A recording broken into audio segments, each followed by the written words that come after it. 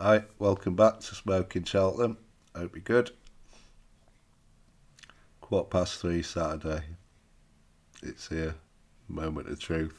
Clear your diaries. Yeah, we'll get to that. Uh, just a couple to look back on before we get into the weekend.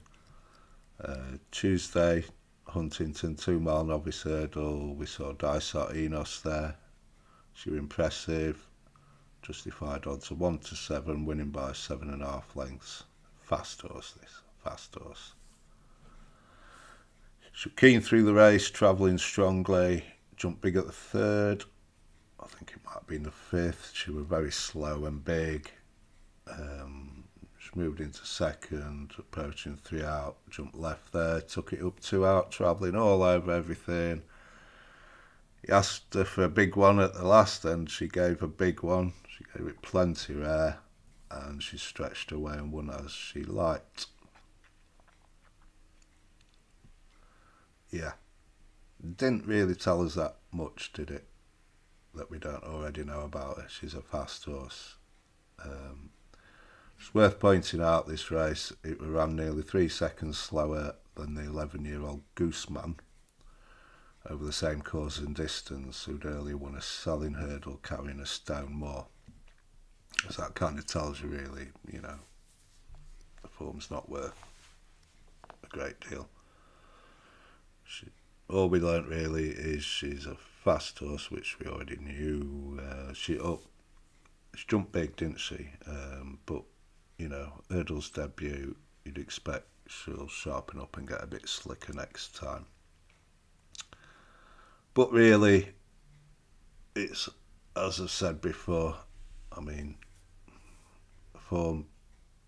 It's now run at Ludlow, Market Rasen, and Aintree and Huntingdon. Good to soft twice. Good, good. We know she's a fast horse, but you know, I, I, I need to see her somewhere like Cheltenham or an Exeter or a Carlisle or even a Sandown on soft ground, you know can she tough it out? I don't know. sorry, just one minute.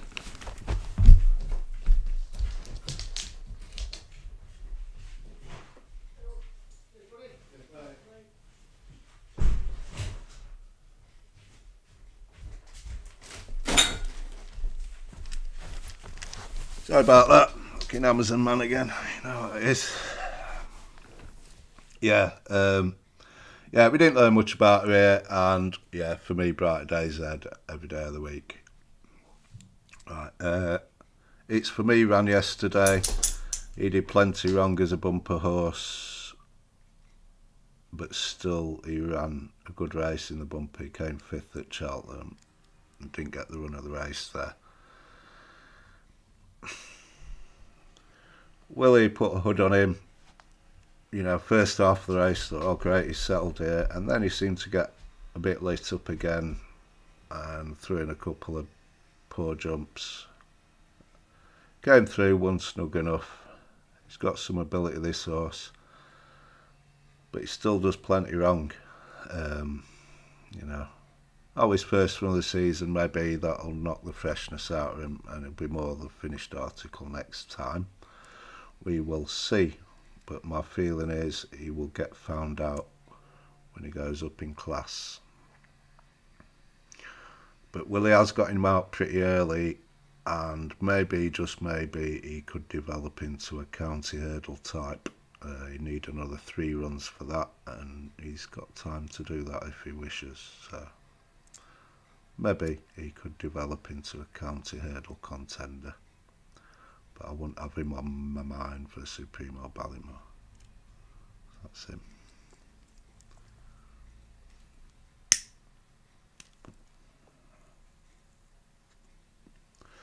Right then. Got another cracking weekend here, haven't we? The ride continues. Uh, today's Friday. I've just got the one bet today nothing original or exciting about this really. 330 Cheltenham, 2 mile 5, grade 2 novice hurdle, Captain Teague. Uh, he took the grade 2 Persian War impressively on debut and crucially for this race he ran a blinder in the bumper at this track last season beaten just two and a half lengths. He's just got to sharpen his jumping a little but he's going to relish that stiff finish here and I'd expect he's going to carry his penalty to victory here and go on to the Challow and probably win that too. There are some good horses in here, some interesting types, but I think with that bumper run in the bank, yeah, I'd be disappointed if he got turned over here trying to kind of, it feels like for days we're trying to get evens for this guy. I gave up, went to 10 to 11, gave up, and I ended up backing him at 4 to 5. I think he's around 4 to 6 at the moment. I'd say I'd go down, that's about as low as I go, I think 4 to 6. But yeah, he's the selection there, and he's the only bet today, really. I did have one more Ida's boy at Wexford at a nicer price, but got took out. That's a non-runner. Um, yeah, the ground's very heavy it at Wexford. It heavy and rain, it said, so that might be why.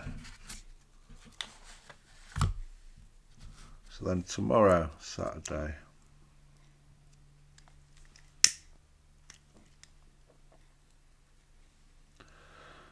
Cheltenham 220, Paddy Power Chase. Um,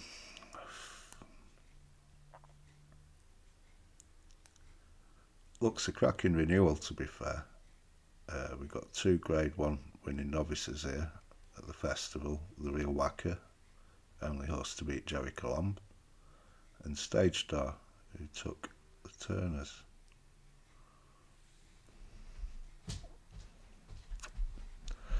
I think fundamentally the real whacker's a better horse, but he does have to give a bit of weight away there.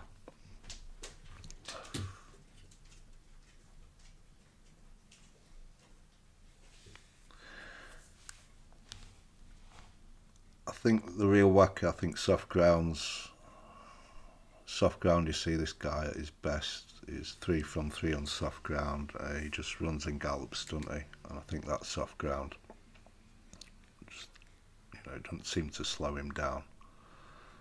So it gives him a bit of an edge. But the only thing holding me back really is he's just first time out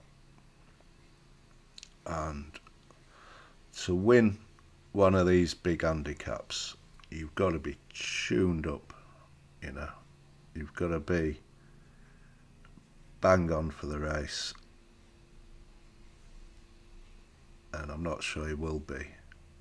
And that'll be my concern with him. I think one horse who will be is Stage Star. Paul will have this ready to run for its life and that counts for a lot in a race like this. You just wonder with the real Whacker being in there though, that's probably a negative to his chances because the real Whacker you'd imagine will go out at a good clip and Stage Star is going to be up there. That's not going to help his chance either. This race has been a bit of a bookie's benefit over the last few years and maybe maybe it will be again. I'll probably not have a bet in the race. If I did have a bet I'd have a very small bet on the real whacker he would be the selection but to be honest I think I'm going to give it a miss this one. You don't have to back in these big races you don't um, I much prefer the graded races and the novices but I do like some handicaps. I'll just if if I like a horse, I'll, I'll back it, you know. But yeah, it's probably a good reason why the bookie spends a lot of these races. But um, it's probably a better card at Navan tomorrow. Um, I will be having a bet in the 1150, I think, the maiden hurdle that opens the card two and a half mile. We've got Bow walking in there was well back last time, but disappointed. Um, obviously, someone thinks something of this horse, uh, so it wouldn't be surprised if he takes a big step up here. But really, this is looking like a bit of a match to me between Willie's Dancing City and Gordon's Stellar Story.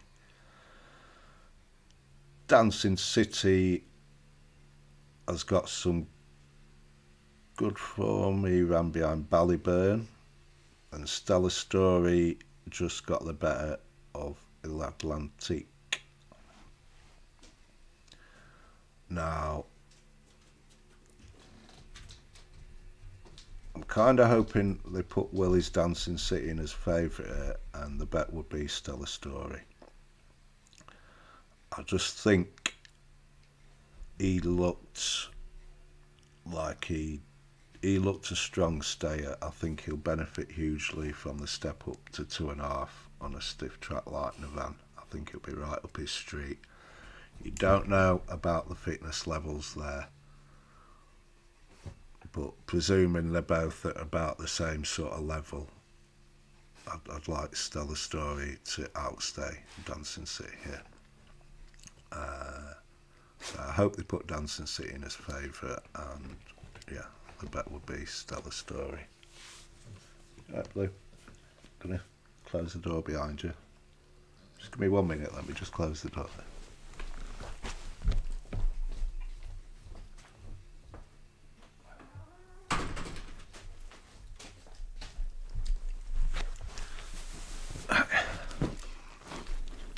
Um, yeah, so, you know, Gordon loves this Navan meeting and I'll take him to get the meeting off to a winning start here. 205 is a grade 2 Lismullen hurdle, two and a half mile. And really, by process of elimination, you come down to Zana here. He's also favoured by the weights. They put him in around 6 to 4, 13 to 8.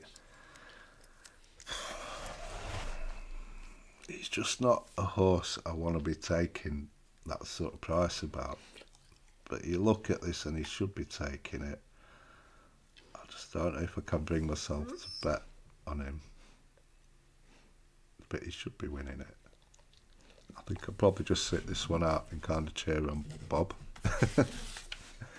I couldn't be backing him either, but you know. I think Bob did a lot of us a good favour, didn't he, Bob Olinger, when he won that Ballymore seems like years ago, doesn't it? But, um, yeah. Um, then we move on to the 240, the two mile grade two for three chase. This looks a tasty little race. Um, I kind of toyed with the idea of Saint Roi here. I just think the race might set up for him. But he's not really favoured at the weights and I wonder if Willie might have left a bit more on him than Dysart Dynamo. Um, Captain Guinness is a grand horse. He's been a brilliant horse for connection. Seems to run his race every day. He won this last year. He's got to be bang there again. Dysart Dynamo. I know He does plenty wrong, but he was savage first time out last year, and maybe this will be his day. Put him in at 11 to 8. He's not really an horse to be taking a price like that about. Captain Guinness, two's 9 to 4. It's another race, I'll probably just sit back and watch this one, to be honest. 315. two mile one. This is the beginners of the season, in it? Willie's introduced horses such as Douvan, Bator, Footpad in this. And here, this is the launch pad for the six-year-old son of the legendary Quevega, Facile Vega. I've said plenty about this horse.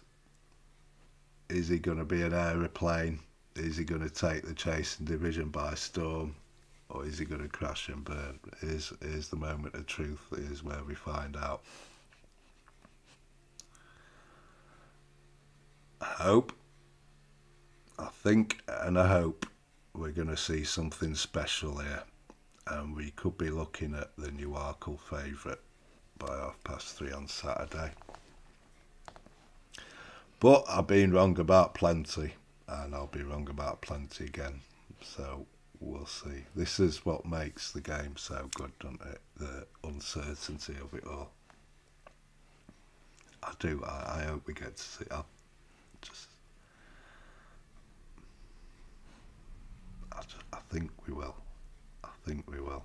I think he's going to be special. We'll see. But you need two horses to make a race, and we've got two and a bit here. And Henry's also here within the pocket. Who I think these will be one two in the Arkle. He couldn't have a tougher opponent first time up here. In the pocket, it's Henry's. Facile Vega were three length in front of him in a Supreme in March, and we know we know in the pocket's going to improve more than three lengths for fences. So Facile Vega will have to improve again to be beating this fella. I think he will. I think he'll improve plenty, but we don't know, do we, until we see it. It's going to be a great race. Um, got to mention Gordon's got Saint Felician here. He's no mug either. But really, it should be boiling down to these two. JP's got a few in here. Handicaps down the line, these horses. We've already spoke about a couple of them, handicaps down the line. And they're continuing their education here. It should be a cracking race. Don't miss it. Quarter past three. Clear your diaries. It should be special. Come on, Pascal. Alright. Even Blue's excited about it.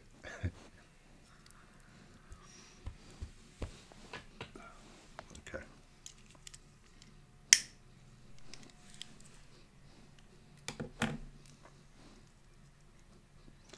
The bumper that closes the card looks a fascinating contest. Oh, as, as far as the bet goes, I've got plenty on Facile Vega. We're heavily invested in that horse. Um, so at the likely odds, I'd be guessing probably be looking around four to seven. I'll probably just let it go. Uh, I've got enough invested in this horse. But saying that, if you were getting, I don't know, maybe sort of around four to five mark, something like that, then yeah, I'd be having a little bet on him as well. Yeah. Right. Um, the bumper that closes the card yet, fascinating contest this. We've got Apples of Brazil there. This horse were punted into three to one to beat Ballyburn last year on debut. So they hold this horse in some regard. He, on the face of it, a little disappointing there, but seven for nine, but he were only beaten around 10 lengths and he were promising enough first run. Yeah, so clearly he's held in the highest of regard. So he's interesting. We've got Gordon's My Trump card. He was high, very, very high catching two and a half mile hurdle run last year. He looks a bit firefoxy, doesn't he? How they've, you know, he's given him an hurdles debut two and a half, fetching him back to bumpers here same connections. Yeah. And then also we've got Gavin's Gavin Cromwell's Spring de la Mer who's off that point to point list. Highly regarded horse. Yeah should be a fascinating race um, and one we'll look back on with interest. I'd say whatever takes this is a classy horse. Right then on to Sunday Cheltenham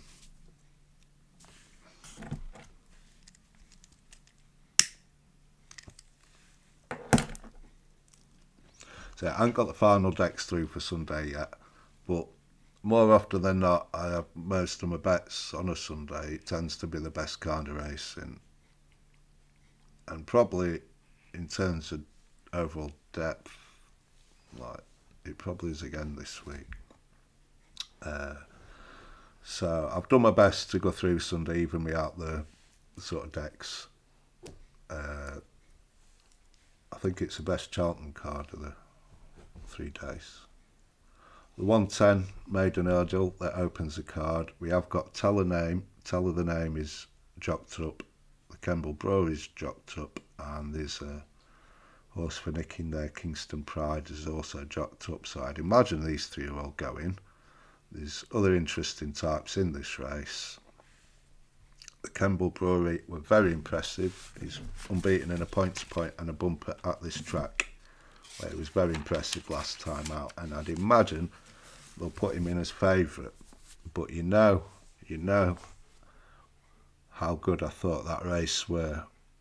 Tell the name and Django Bay. I think these two, I said these two, I think are graded horses. Django Bay is possibly a grade one horse and I'm hoping his hurdles experience will give him the edge over the favourite here. It'd be unlucky to bump into another horse as good as Django Bay and a maiden. I, am hoping they'll put Kemble Brewery in as favourite and I'll be back in tell of the name.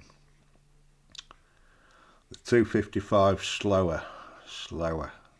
That's just a great name. It's one of them names, one of the few names you could say the same after 10 pints of Guinness. Shloer. Um, this looks a cracking contest if these four all turn up, and I think they do. We've got Jonbon, Edward Stone, Nube Negra, and Anita Geet. Edwardstone would be dangerous if coming back to his best, no doubt. He was good at his best. He was brilliant in the Tingle Creek last year. Nube Negra's on a hat trick in this race. And Elitski, he's had his blowout. He's ready to rock and roll now. He'll be ready for this as well. This is a good test for Jonbon. Like I said, I don't think Jonbon's... I don't think Cheltenham's especially Jonbon's track either. It'd be take a brave man to be smashing into this horse at like one to two. It would saying all that, I do expect Jonbon to take this. Nicky seems very happy with him. I think he'll take it. But yeah, one to two, not for me. But yeah, cracking race in prospect and yeah, should be good.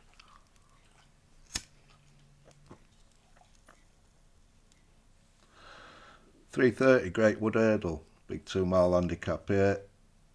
Willie's only a matter of time could be a handicap block right at the bottom there. You just don't know with this horse. He could go off 6 to 4. He could go off 16 to 1.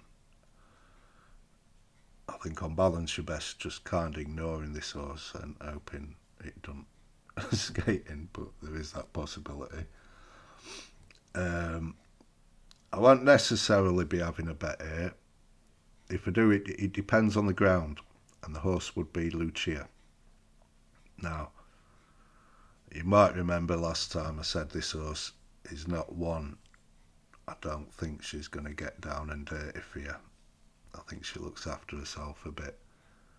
But I think off 136 in an handicap on decentish ground, she could be very dangerous. I think. I think she could just sort of, because she travels, I think she could just cruise round and win on the snaff, maybe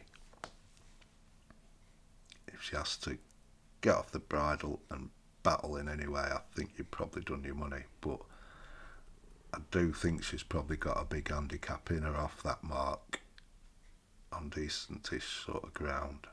And around 10 to 1. Yeah, if she turns up here, and it, I mean, it can be hard work this race. We've seen it some years, and if it if the ground's like that, then I, I wouldn't be playing. I'd be getting it a wide berth. But if it's not too bad and they're getting home well, I'll, yeah, I'll have a play on Lucia.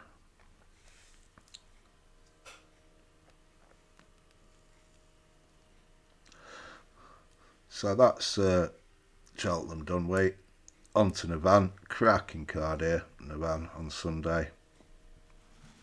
12.15 Mares Maiden Hurdle. We've got Gavin Cromwell's Bioluminescence. That's not one to be saying after 10 pints of Guinness, is it? Uh, point to point winner came second to Junta Marvel in a bumper of Willie's, who then went on and took the grade 3 bumper at Punchestown. Should be winning this for JP.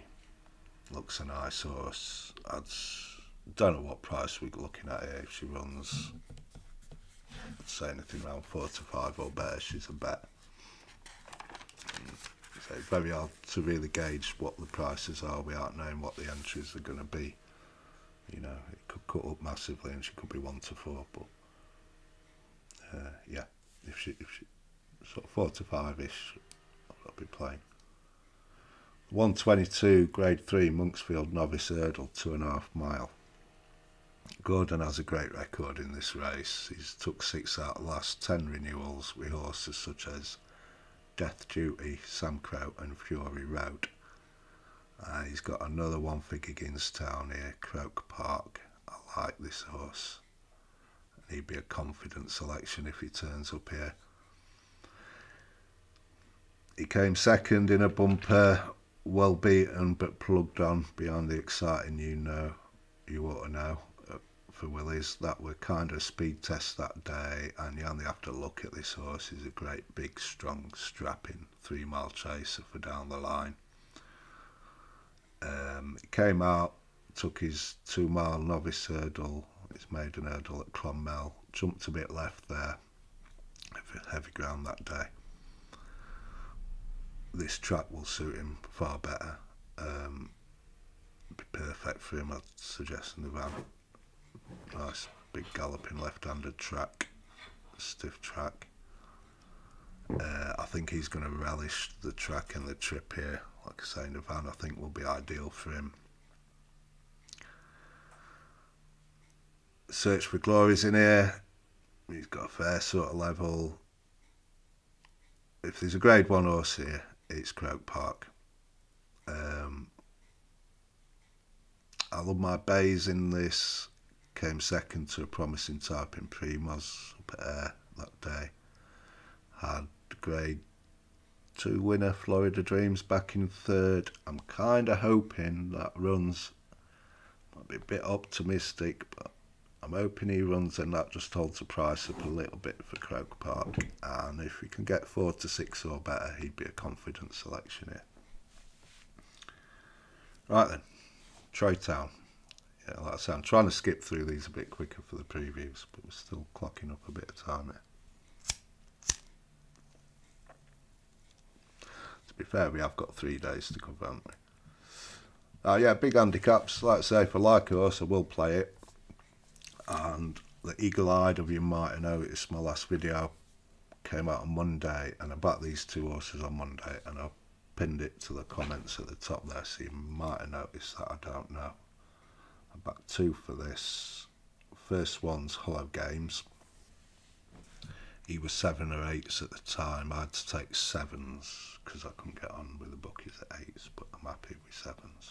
I am. Uh, I think you can still get sevens now Right, Gordon's got a great record in this race. He's took five out of the last ten. Five out of the last ten's carried 11-6 or more, so don't be too worried if the horse you like's got plenty of weight there. Favourites have got a surprisingly good record in this race, taking four out of the last ten. Um, as for the games, he's two from two on the track. A couple of years ago, he took out that Monksfield novice hurdle, and then last year he won the two mile one beginners were very impressive that day, jumped and travelled great.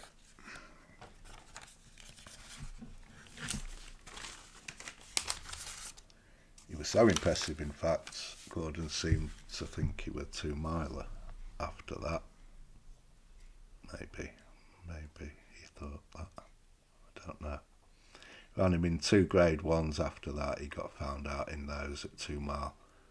You know, uh, pulled up, I think, in the Arkle Ran him again two mile, dropped into an handicap on his final start of the season there, and he ran better. He outpaced, but he did stay on into fourth, beating around 11 lengths, I think, behind Dino Blue that day, I think. He then came out in the Galway plate. Uh, important to note, Gordon did take that Galway plate with a horse he had tuned up to win on the day. He won, name just escapes me, Ash Tree Meadow. He took that two-runner race last last week at Down Royal. This fella stayed on from the rear into never near a third beaten 10 lengths or so. Looked like a race for another day to me. I think this has been a long term plan for this horse. That's what I'm sort of trying to get at here. I think he's going to get hammered. I do. I think he'll go off a well supported favourite. Can see him going off around the 7 to 2 mark and hopefully can land a bit of a touch for connections here. saying all that, I could not leave the Devil's Coachman alone either. I think you need him on your side too. He's a grade two winner over hurdles. He should love any cut in the ground. In fact, if he's not cutting the ground, he probably won't run. Um, he ran in the Irish National and he cruised around there looking like a very well handicapped horse, but he just didn't get home over the three mile five there um, dropped to three mile here. He's also two from two at Navan, and he's dangerous. He's dangerous. I'd, I'd, I'd imagine Noel's got this guy who goes well fresh. I imagine he's got him primed for Sunday.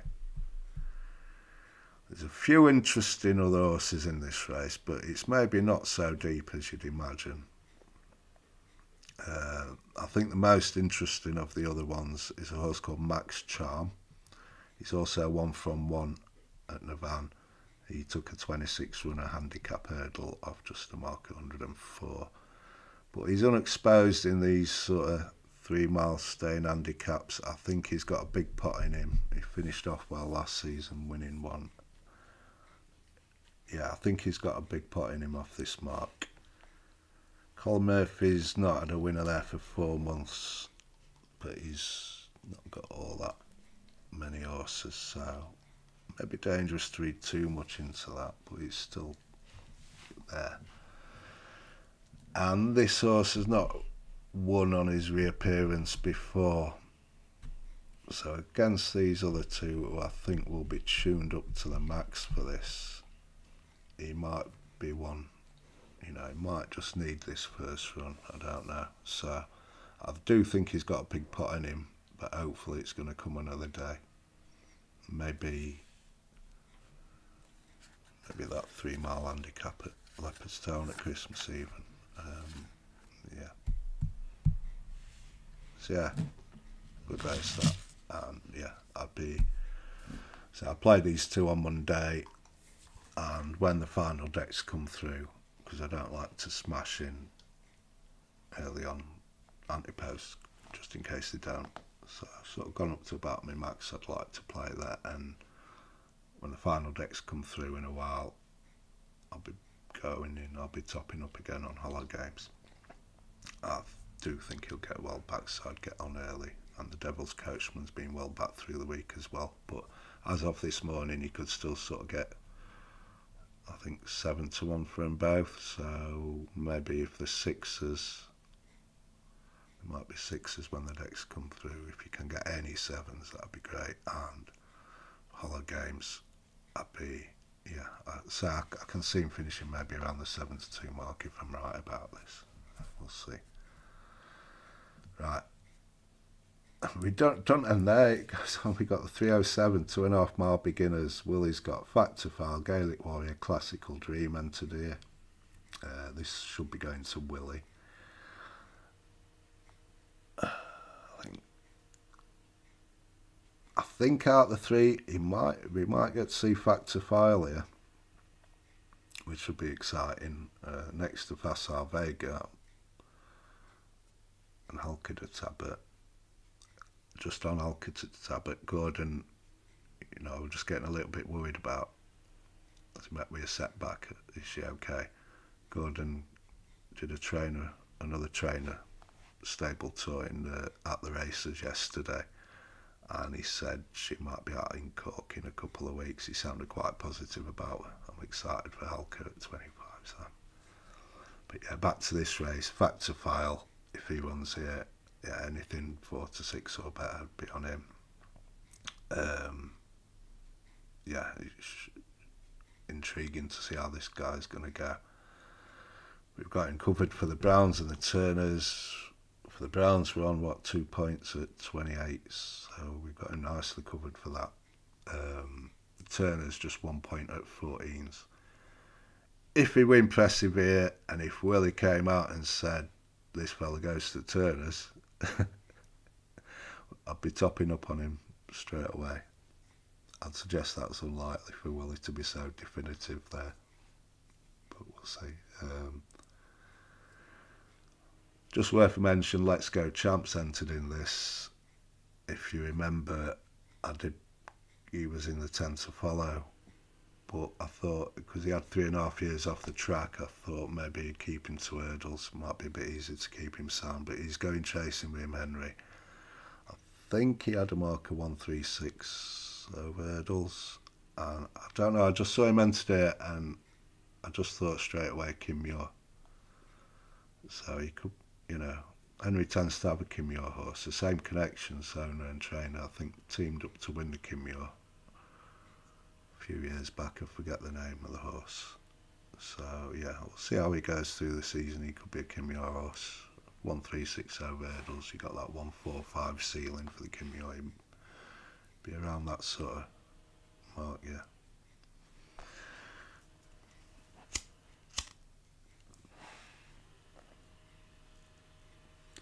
Then we close the weekend out 342 listed bumper race and there looks some interesting horses entered it but I'm hoping Gordon finishes off the meeting the way he started it hopefully with a winner. Uh, we see Qualamita is here. This is off that point to point list paid half a million for this horse. She'll do well to win that back ever. I'd have thought she she's got to be an exciting prospect here, and yeah, I think sort of four to five ish, anything like that would be a bet here. And yeah, it'd be uh, exciting to see her out too. And there you go. There you go. Um, another brilliant weekend. Um, nap, nap.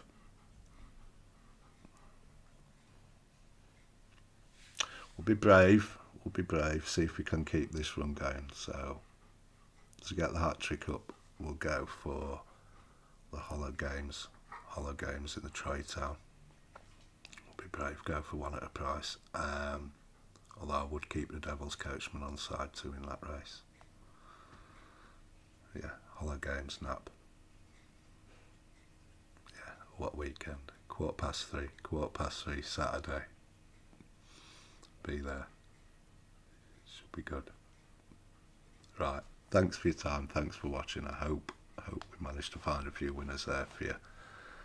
Hope you get some winners this weekend. Enjoy the racing, and I'll see you again on Monday, and we'll look back at it all. Okay. All the best. Bye.